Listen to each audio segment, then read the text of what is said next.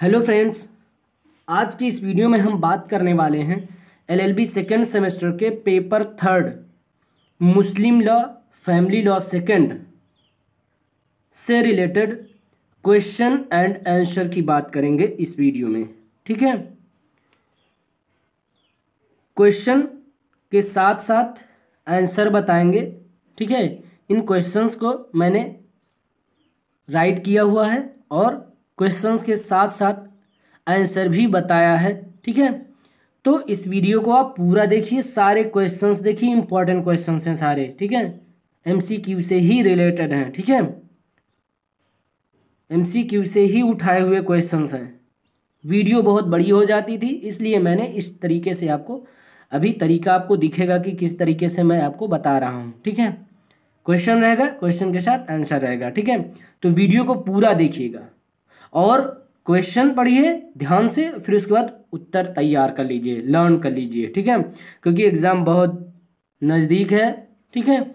तो आप लोग लापरवाही ना करें वीडियो को पूरा देखें, सारे क्वेश्चंस देखें, और अपने फ्रेंड्स को भी ज़्यादा से ज़्यादा वीडियो को शेयर करें, ताकि सारे स्टूडेंट सारे आपके फ्रेंड्स लोग भी जो है एग्ज़ाम की तैयारी कर सकें अच्छे से, ठीक है? तो अब हम चलते हैं क्वेश्चंस की तरफ़। तो वीडियो को लाइक करिए, चैनल पर पहली बार आए हैं, सब्सक्राइब कर लीजिए और नोटिफिकेशन पाने के लिए बेल ऑन कर लीजिए। चलिए बात करते हैं क्वेश्चंस की। तो हमारे साथ अंत तक वीडियो में बने रहिएगा। क्वेश्चन नंबर पहला कहता है कि पैगंबर मोहम्मद साहब का जन्म हुआ था। तो याद रखिएगा 570 ईस्वी में हुआ था। बहुत इंपॉर्टेंट क्वेश्चंस हैं। और एमसीक्यू से ही उठाए हुए क्वेश्चंस हैं और आंसर भी, ठीक है? तो आपको लापरवाही नहीं करनी है वीडियो इंपॉर्टेंट है आपके लिए तो इसकी मत करिएगा। पैगंबर मोहम्मद साहब का जन्म हुआ था 570 ईस्वी में। क्वेश्चन दूसरा क्या कहता है? पैगंबर मोहम्मद साहब के पिता का नाम था। तो क्या नाम था पिता का? अब्दुल्ला।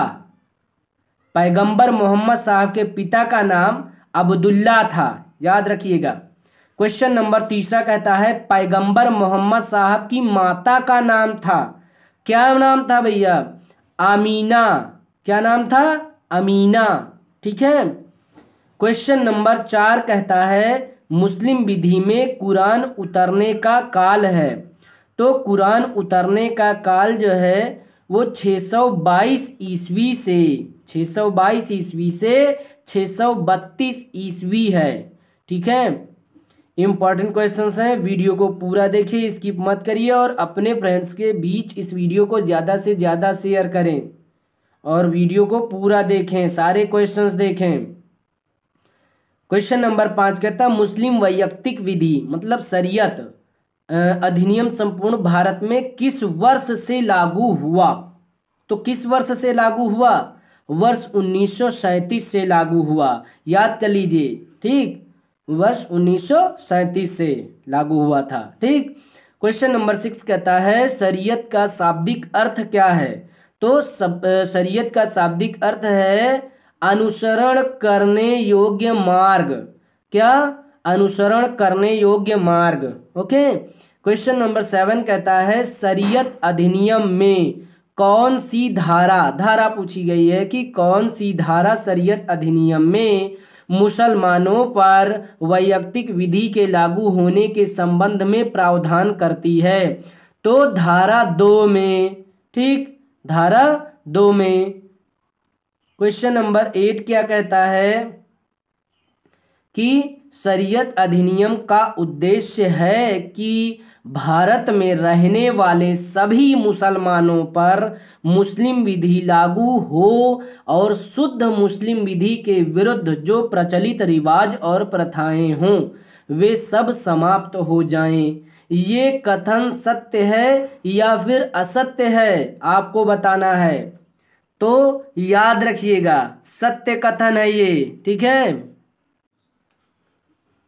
क्वेश्चन नंबर एट में जो है, कथन सत्य है या सत्य क्या था? सत्य था, ठीक है?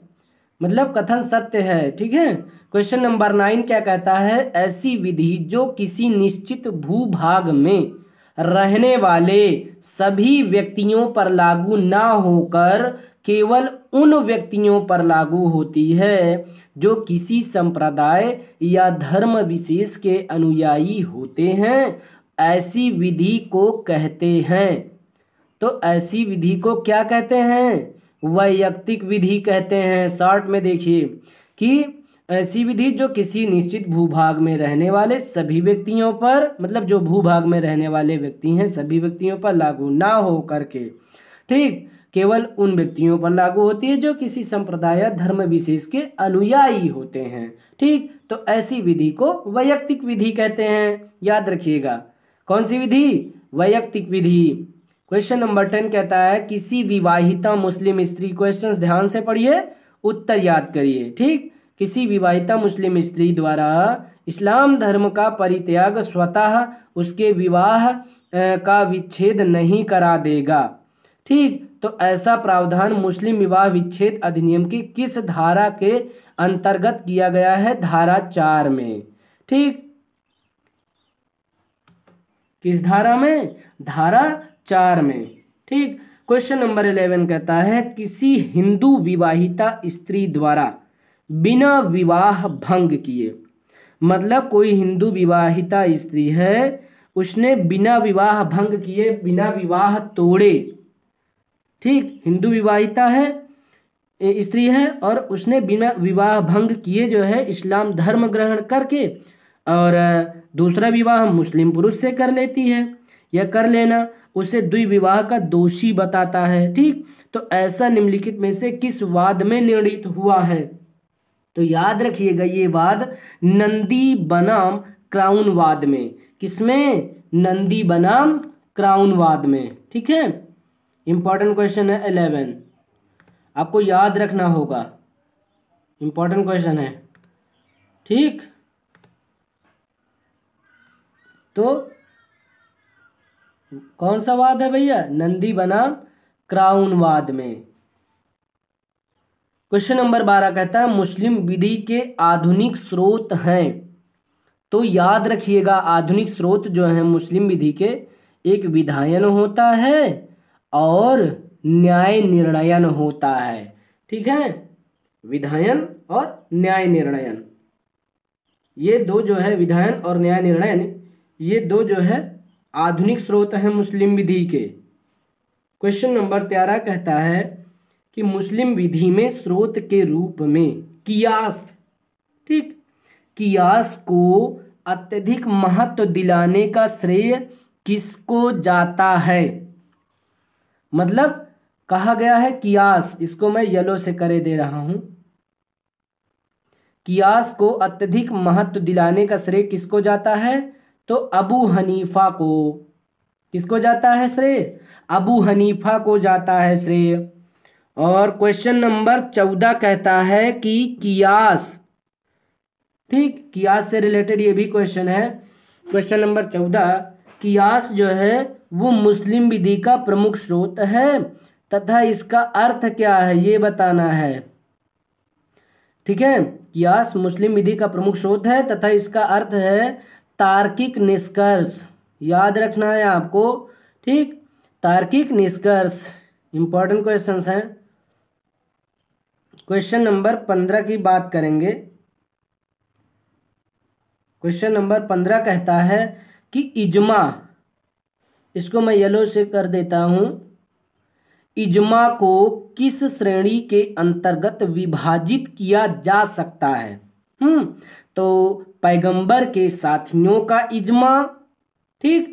फिर जनता का इजमा और फिर विधि वेताओं का इजमा, ठीक है? इतनी श्रेणियों में विभाजित किया जा सकता है इजमा को। पैगंबर के साथियों का इजमा हो गया, फिर जनता का, पब्लिक का इजमा, फिर विधि वेताओं का इजमा अधिवक्ताओं का इजमा कहिए, ठीक? तो इतने इजमा हैं। इतने में विभाजित किया जा सकता है इजमा को, इतनी श्रेणियों में। ठीक? सोलह नंबर क्वेश्चन करता है, इजमा का शाब्दिक अर्थ क्या है? तो एक मत का होना, ये कहिए आप। ठीक है? या फिर एक मत होना। बात वही हुई, ठीक है? लेकिन बच्चे डाउट में आ जाते हैं स्टूडेंट डाउट में आ जाते हैं, ठीक है? तो एक मत का होना या एक मत होना, ठीक है? दोनों सही है। तो इजमा का शाब्दिक अर्थ है एक मत का होना या एक मत होना। ठीक है? क्वेश्चन नंबर सत्रह कहता है, हदीस के बारे में कहा गया यहाँ पर। इंपॉर्टेंट क्वेश्चन है। इसको मैं येलो से कर देता हूँ, हदीस को। क्वेश्चन में, हदीस को किस श्रेणी के अंतर्गत विभाजित किया जा सकता है?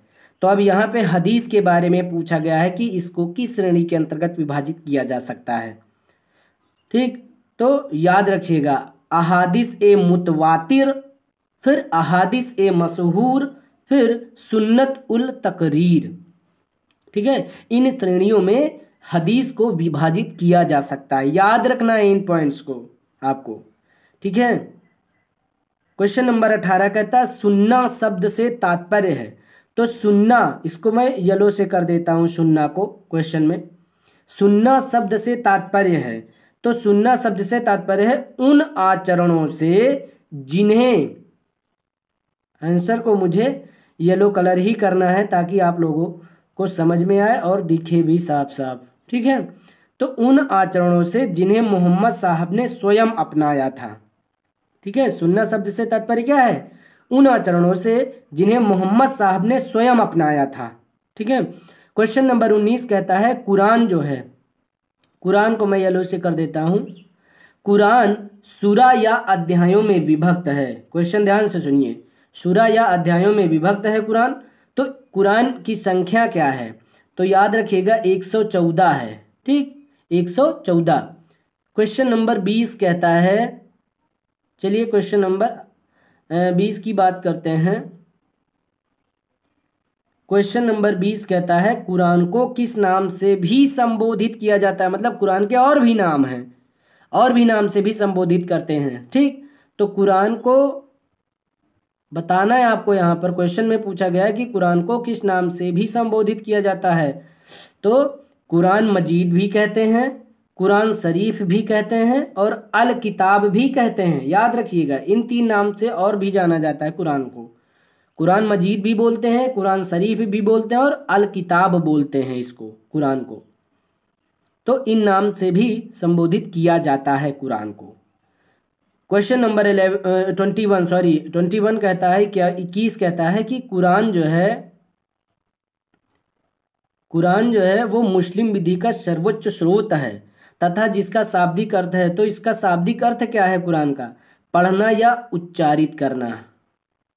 कुरान का शाब्दिक अर्थ है पढ़ना या उच्चारित करना। क्वेश्चन नंबर बाईस कहता है खुदा द्वारा। खुदा द्वारा जबराल के माध्यम से पैगंबर मोहम्मद को संबोधित संवादों का छरसा संग्रह किसमें है? तो भैया किसमें है? कुरान में है। याद रखिएगा इंपॉर्टेंट क्वेश्चन है ये। बहुत ही इंपॉर्टेंट क्वेश्चन है।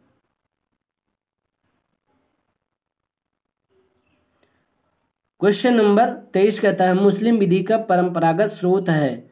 तो मुस्लिम विधि के स्रोत, जो परंपरागत स्रोत हैं, वो कुरान भी है, सुन्नत और हदीस भी है, और इजमा और कियास भी है। ठीक है? ये सभी जो है, मुस्लिम विधि के परंपरागत स्रोत हैं। याद कर लीजिएगा। क्वेश्चन नंबर चौबीस कहता है, मुस्लिम विधि के विकास की प्रक्रिया किस कालखंड से होकर गुजरी है? तो आपको कालखंड बताना है। कुरान उतरने का काल और खिलाफत खिलाकत का खिलाफत का काल। यहाँ पे कत नहीं है, फत है, एफ़ ओ, सॉरी, फाफल है, ठीक है? तो खिलाफत का काल, ठीक है? गलत लिख गया यहाँ पे टाइप करने में। तो खिलाफत का काल, ठीक है? तो इतने कालखंडों के नाम से से होकर गुजरती है। तो यहाँ पर कुरान उतरने का काल हो गया खिलाफत का काल हो गया और हदीसों के संकलन का काल हो गया। ये सारे मुस्लिम विधि के विकास की प्रक्रिया जो है, के जो है कालखंड से होकर गुजरी हैं। कुरान उतरने का काल, खिलाफत का काल और हदीसों के संकलन का काल। ठीक है? तो ये ट्वेंटी फोर क्वेश्चन थे और इनके आंसर थे। ठीक है? इनको आप तैयार कर लीजिए। ठीक है? और, अब हम आपसे नेक्स्ट वीडियो में मिलेंगे। और अपने दोस्तों के साथ इस वीडियो को ज़्यादा से ज़्यादा शेयर करें और वीडियो को लाइक करें और चैनल पर नए हैं और अभी तक सब्सक्राइब नहीं किया है तो सब्सक्राइब कर लीजिए और नोटिफिकेशन पाने के लिए बेल ऑन कर लीजिए। ठीक है? तब तक के लिए धन्यवाद दोस्तों। इतना आप तैयार करिए। नेक्स्ट वीडियो में मिलेंगे आपसे।